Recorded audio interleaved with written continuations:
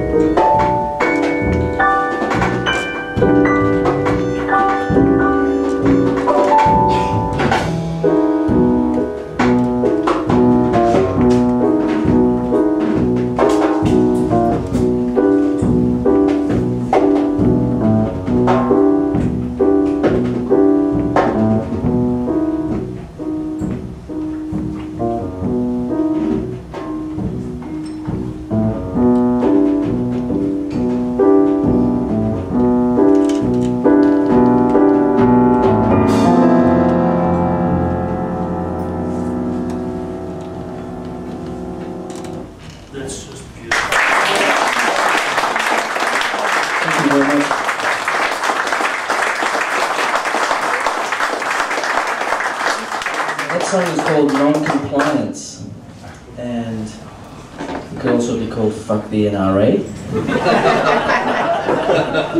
and um,